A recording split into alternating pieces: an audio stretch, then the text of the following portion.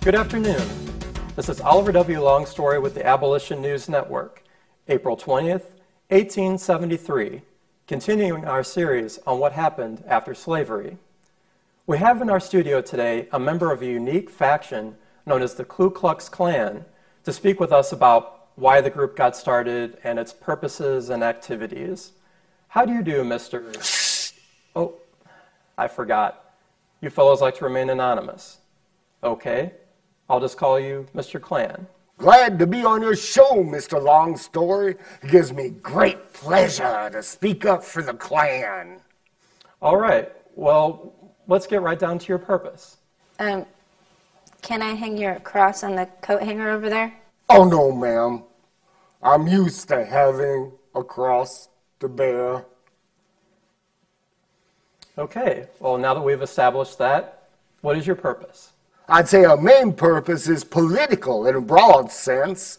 The KKK aims to reverse the changes that took place in the South during the Reconstruction period and defy the Republican Party and the new governments and to regain control over the black labor force and continue racial subordination in Southern life as it was before.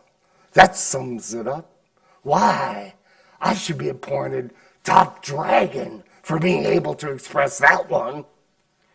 Why do you need a disguise? Well, that should be obvious. The long white robes will convince the superstitious blacks that we are the ghost of Confederate soldiers killed in action during the Civil War. I hope they take that seriously. So, what does this mean exactly, a political comeback? It means that we are undercover to intimidate the Negroes and escape from being identified by wearing the long white distinctive robes. Why, even our horses are robed. Thank you, ma'am. I, uh, I wondered, do you also eat through those sheets? Volumes 1 through 10 on the road to the abolition of slavery.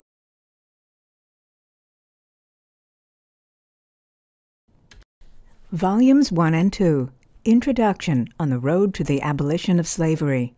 Slavery explained in the words, writing, and songs of contemporary politicians, abolitionists, slaves, pro slavery advocates, and others.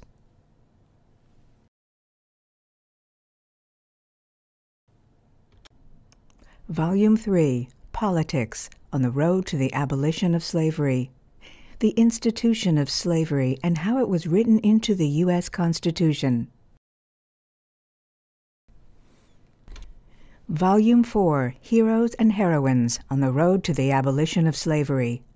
Liberated from the shackles of slavery, countless slaves made extraordinary contributions to society. Volume 5 Obstacles on the Road to the Abolition of Slavery. Slavery culturally entrenched and protected by religious, political, and social obstacles.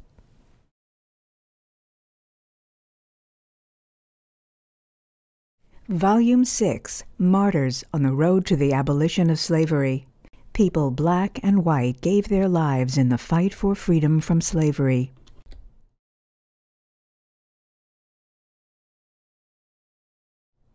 Volume 7 Kidnappers and Justice on the Road to the Abolition of Slavery.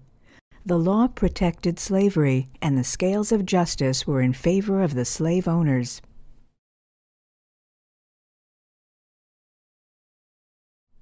Harriet Beecher Stowe, The Evil of Slavery.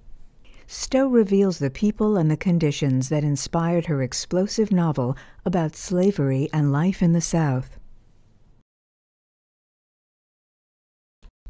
Volume 8 The Legacy of What Slavery Left Behind.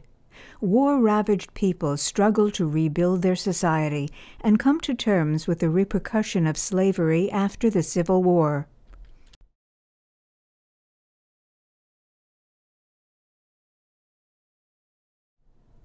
Volume 9 Those Dedicated Angels on the Road to the Abolition of Slavery. Recognizing the work of 12 abolitionists whose extraordinary dedication helped to free the enslaved, these are the people who fought for a higher standard of mankind.